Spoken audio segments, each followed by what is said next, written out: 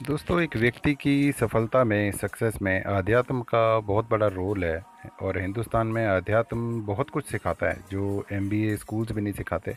आज service industry में देखिए कस्टमर सर्विस पे चाहे तरह तरह की बुक्स और ग्रंथ लिखे गए हों, लेकिन, यहाँ अमृतसर में मैं देख रहा था, ये देखिए छोटी सी बच्ची जो पीली जैकेट में है, अमृतसर में ये अमृत छकाते हैं जल पीने की व्यवस्था है और वहाँ पे जितने भी श्रद्धालु हैं जो संगतें हैं, वो जल पीती हैं और जूठे बर्तन रख देती हैं। और ये जूठे बर्तन फिर धोए जाते हैं और दोबारा आ जाते हैं फिर से पानी पिलाने के लिए।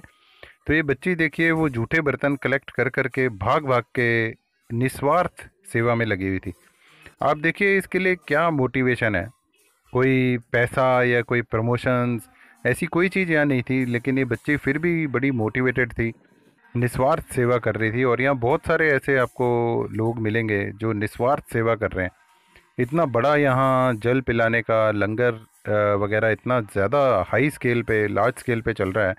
और ये अपने आप निस्वार्थ भाव से जो लोग सेवा कर रहे हैं, उन्हीं के द्वारा ये संचालित हो रहा है और ऊपर बैठा भगवान ये करवा रहा है। तो मैं ये मानता हूँ कि अगर हम अध्यात्म से जुड़ जाएँ तो वहाँ हम ऐसी ऐसी चीज़ें सीख सकते हैं बचपन से ही, जो हमें बड़े होने तक बहुत ज़्यादा काम आएँगे। अब ये बच्चे देखिए, इसमें जो निस्वार्थ समर्पण की भावना है, जिस ढंग से ये काम कर रही है, बड़ी होके ये डेफिनेटली डेफिनेटली बहुत ही बड़ा नाम कमाएगी और भगवान का आशीर्वाद पाएगी।